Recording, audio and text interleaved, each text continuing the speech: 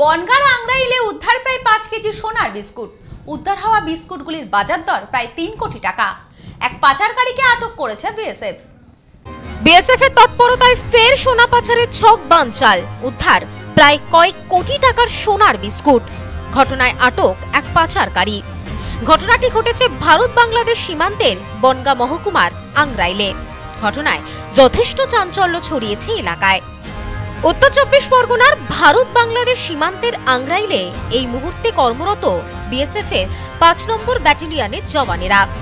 বিশ্বস্ত সূত্রে খবর পেয়ে সোনা চোরাচালানের চেষ্টাকে ব্যর্থ করেছে বিএসএফ ঘটনায় সোনার ইট এবং তিরিশটি সোনার বিস্কুট সহ এক চোরা কারবারিকে আটক করেছে বিএসএফ সীমান্তরক্ষী বাহিনী সূত্রে জানা গিয়েছে, বাংলাদেশ থেকে ভারতে সোনা পাচার করবার সময় উদ্ধার হয় সোনা। উদ্ধার হওয়া সোনার বাজার মূল্য আনুমানিক প্রায় তিন কোটি টাকা, যার ওজন প্রায় পাঁচ কেজির কাছাকাছি।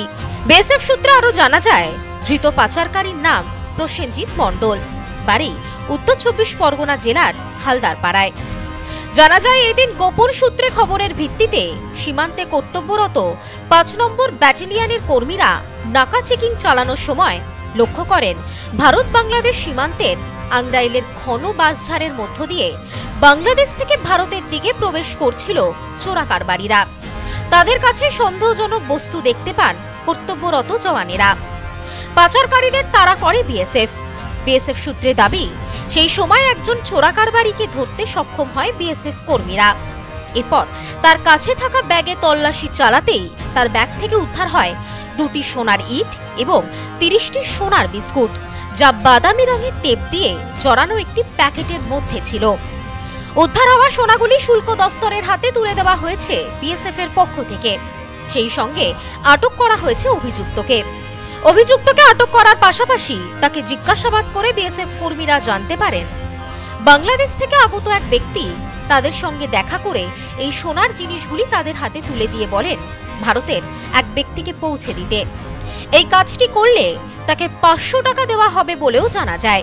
এমনকি বাংলাদেশের ওই ব্যক্তি তাদেরকে একটি ফোন দিয়েছিল, যাতে তারা খুব সহজে যোগাযোগ করতে পারে।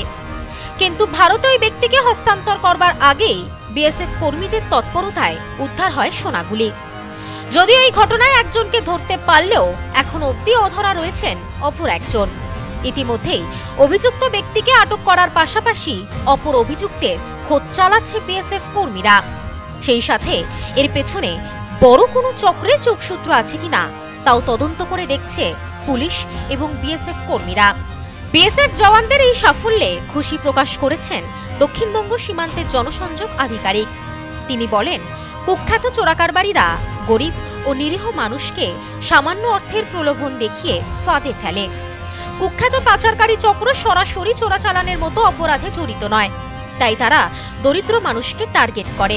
তিনি সীমান্তে বসবাসকারী লোকদের কাছে আবেদন করেছেন, তারা যদি সোনা চোরাচালান সংক্রান্ত কোনো তথ্য পান, তবে তারা যেন অবশ্যই সীমান্তে থাকা বিএসএফ কর্মীদের সঙ্গে যোগাযোগ করে।